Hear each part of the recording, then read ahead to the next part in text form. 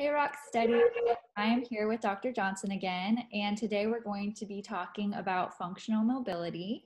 So, Dr. Johnson, would you mind explaining what exactly functional mobility is and a good way to get around your house, especially getting out of bed when you're dealing with weakness or rigidity. Right. Yeah. Functional mobility, that's kind of the word that we therapists use, but it just means, yeah, like you said, just being able to get around, get up and down from furniture easily, get in and out of bed easily, in and out of the bathroom, things like that. It is very important. And you're right, getting in and out of bed can be one of the biggest challenges for folks. So, again, we're going to look back at the person, the timing of your medication. We think about uh, things that you can do. You can do some sort of rhythmic stretches or rhythmic, you can kind of count or kind of get yourself rolling side to side. One, two, three, up we go.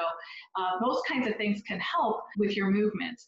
Practicing stretching. And again, uh, as we've talked about in other videos, writing down the steps, maybe have it in front of you written down or talking yourself through it can um, make a big difference in making that movement more smooth. Uh, because as we've said before, it's those automatic thoughts that kind of can elude you. So you kind of have to come up with some different strategies. And then looking at the environment, looking at the height of your bed makes a difference. I find that some beds are really, really high. And if you're having to take a step to get into your bed, that might be a little too much.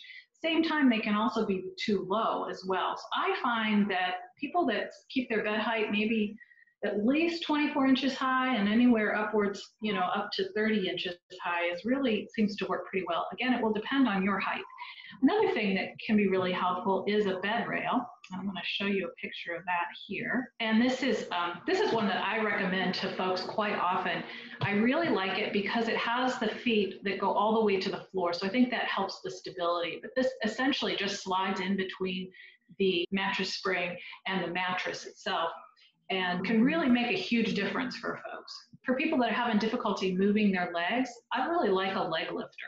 This is one that actually has a piece of metal in it, and so it's kind of stiff, and you can easily sort of lasso it around your foot, kind of guide your legs out, and that can make a huge difference for folks. You can also do the same thing maybe with the sash of a, a robe or a long belt, or even I've used a really long towel to help people loop around their legs in order to slide their feet out. There's a lot of beds on the market now where you can raise the head of the bed, raise the foot of the bed. Those can make a huge difference. And you want to pay attention to the method that you're using for getting out of bed. Sometimes it helps to have another person kind of watch how you do it. Usually it's most effective to do what we call a log roll, which is to roll to the side, swing your feet off, and then push yourself up as opposed to just laying in the bed and trying to come straight up. Those are just a couple suggestions for getting out of bed. Again, leave some comments. I'm happy to hear what has worked for you and what maybe you're having difficulty with, and maybe we can brainstorm together some suggestions. Yes, that's some great advice. Thank you. Um, so, yeah, Boxers, if you have any other questions about functional mobility, please comment on this video and maybe Dr. Johnson would be able to answer some more questions about that. Thank Happy you. to.